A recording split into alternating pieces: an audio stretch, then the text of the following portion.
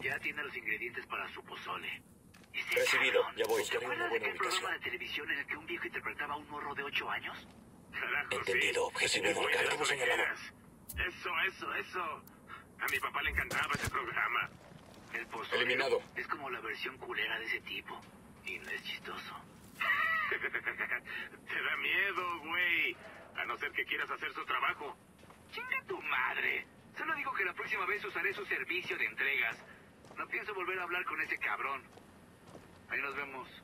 Ahí te miro.